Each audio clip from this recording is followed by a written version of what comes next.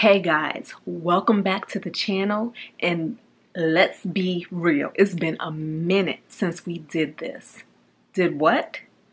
Talk about my mortgage payoff journey, an update and where are we now?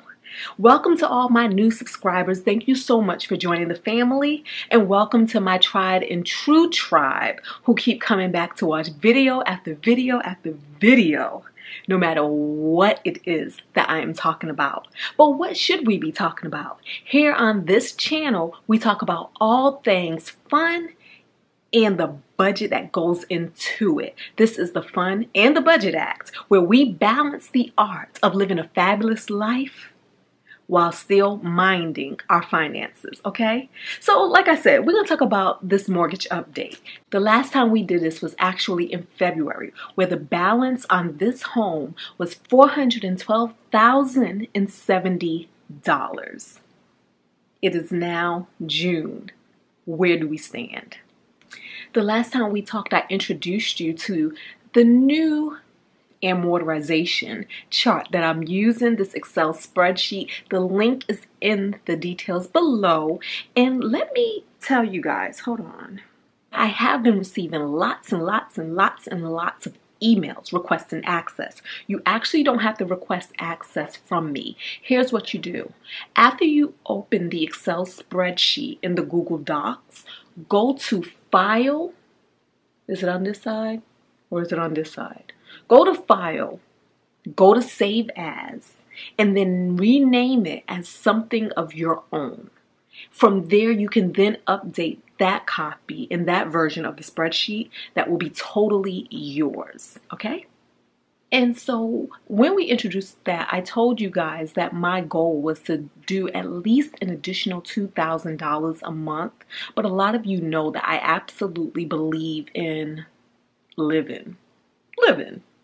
So while paying off my home is high on my list of priorities, it is not the end all be all on my list of priorities. What's high on my list of priorities is to responsibly enjoy this life day by day as it comes because the future is promised to no one, right?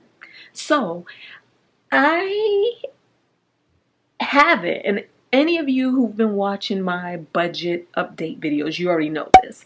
I have not been hitting that mark of an additional 2000 a month. So let's talk about what I have been doing, okay?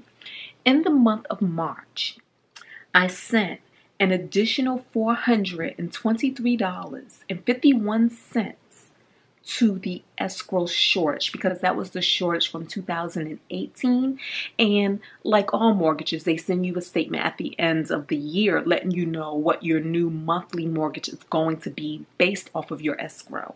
If your taxes increase that year, your escrow could have been short, like mine. And so, what they will do is they will tack that onto your new mortgage payment. So, my 2019 mortgage payment, they will tack that on increasing my monthly mortgage to make up that deficit. It's an interest free loan, but I did not want to send extra money to my mortgage just to pay that shortage. So I went ahead and set them one lump sum so that my monthly mortgage could be the same or higher according to whatever they feel the tax adjustment needs to be so that another shortage won't happen. And this also works the other way around. If you pay your escrow and then at the end of the year you find out that, oh, taxes were actually lower than anticipated, they will actually send you a refund check of whatever that excess was.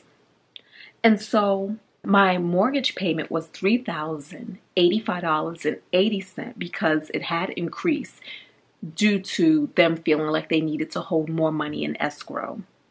And of that $3,085, $1,250 went to the principal and $1,116 went to interest. I was also able to send an additional $319.20 to the principal. In April, I sent my my mortgage payment of $3,085 and of that $1,255 went to the principal and $1,111 went to interest. I was able to send an additional $1,514 to the principal. In May, I made my $3,085 payment. Of that, $1,262 went to principal, $1,104 went to interest. So as you guys see, I'm clearly paying more to my principal than my interest, which was an goal, which was a goal of mine. So we successfully met that goal. And then I sent an additional $1,639 to the principal. In June, I made my mortgage payment of $3,085 and of that $1,270 went to principal and $1,096 went to interest. It's going to be so, so, so fun when that interest actually falls under a $1,000. And then I was also able to send an additional principal payment of $5,014 over to the chart. Okay, so what I did on this chart is I zeroed out the payments for February, March, April, and June. And all of these right here, these are my predicted, my estimated payments down here, right? So technically where we stand right now is I will have this paid off in June of 2027 versus December of 2041. I will be paying $76,544 in interest versus a little over $209,000 in interest.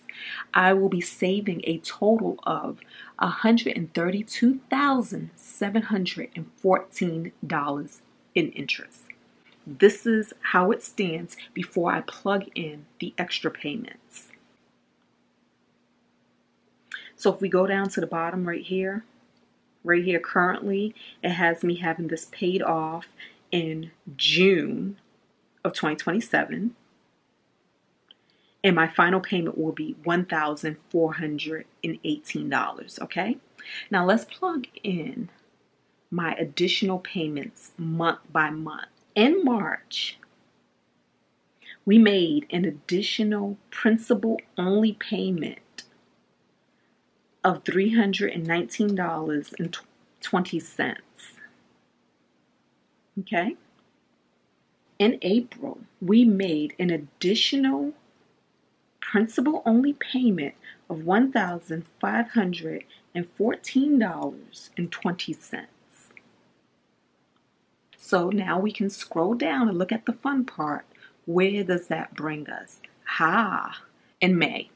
In May, we would have to pay, instead of $2,000 extra, we would have to pay $1,034.30. And let us take a look at May 2019 payment. In May of 2019, I made an additional principal only payment of $1,639.20. In June, I made an additional principal only payment of $5,014.20. And does this match up? Does this match up? it matches up a little bit. I actually owe, and this is a goal, this was a goal of mine, guys, to get under the $400,000 mark. So we are finally under the $400,000 mark of what I owe on this home. I actually owe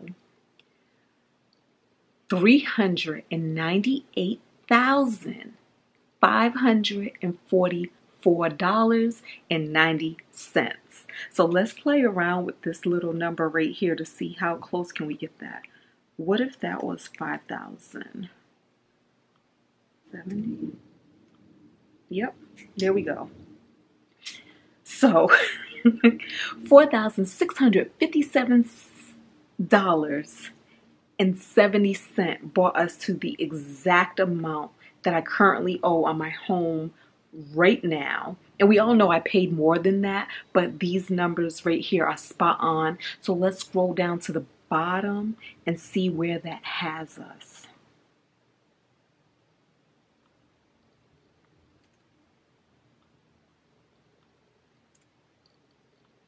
All right.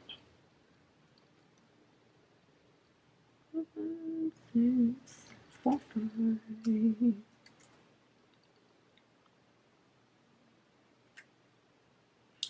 So now that has us paying this home off in March of 20 in March of 2027. So eight years, we're still at the eight year mark. And of course, I want to close that gap some more. Let's look back at the top of the chart and look at our final numbers. So again, when we started this off, it had us paying it off in June. We are now having it paid off in April. We, we reduced the loan by 176 months thus far. We are now saving we are now paying $74,152 to interest versus that 209,000 to interest and we have a total savings of of $135,105 in interest. So, I am super excited about all of that. And once again, we are super ahead on our goals and our benchmarks. But we're going to talk about that in another video where I color in my charts because I have two charts going on. Um, one chart represents a color block for every thousand dollars I send to my mortgage, and then the other chart is highlighting where we are on the paper Emerald's amortization chart. I feel like when you're doing big goals like this, the more charts you have, the better. The more games you play with your mind, the better. The more benchmarks you can set for yourself, the better.